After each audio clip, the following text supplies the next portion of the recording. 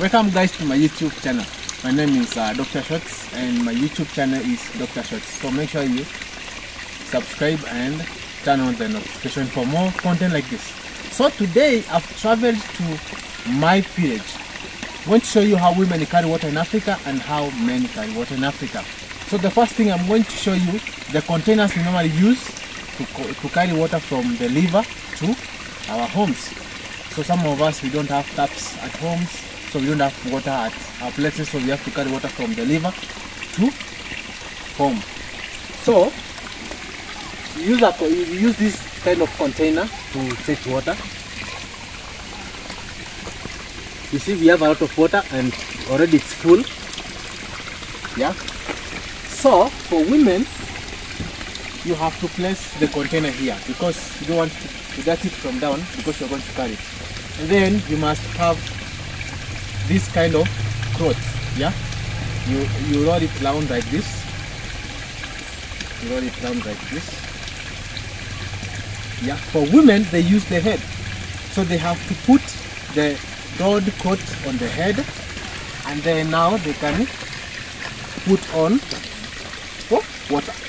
So I can place water on. Yeah. So this is how you can carry water. Uh, women carry water in Africa. Okay. Yeah.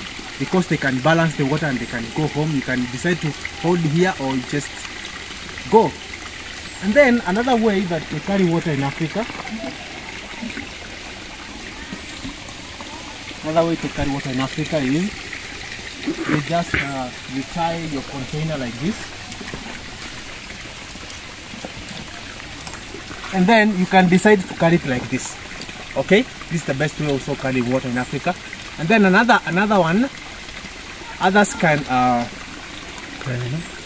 they can decide to use the head. Yeah? They can tie this one to the head. Okay? So if they tie it to the head, it's going to be okay. Now someone can just go home, okay, using that method. Yeah.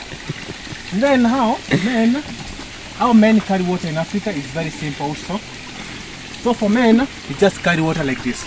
It depends to your muscles. If you can, you can be able to lift a container like this one, then you can carry two containers to go home. Others can prefer using one, carry one container this way. And then you're ready to go home. So thank you guys for watching. Please remember to subscribe to my YouTube channel for more content like this. Cheers. Happy New Year 2024.